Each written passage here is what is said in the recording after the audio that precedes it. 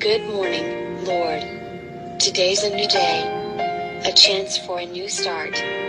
Yesterday is gone, and with it, any regrets, mistakes, or failures I may have experienced.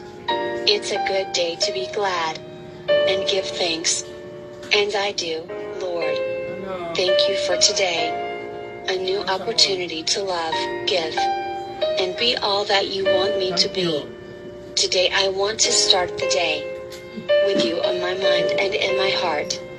As I dress, let me wear the armor you've provided daily the helmet of salvation, the breastplate of righteousness, the shield of faith, the belt of truth, the shoes of peace, and the sword of the Spirit, with prayer on my tongue, praise for you, and petitions for those around me and those I meet.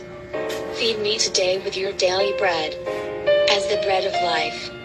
Your food, like manna, will sustain me throughout any trials and hungers. Help me to set my thoughts on things above, and to speak only what will help and encourage others. Keep me from putting my foot in my mouth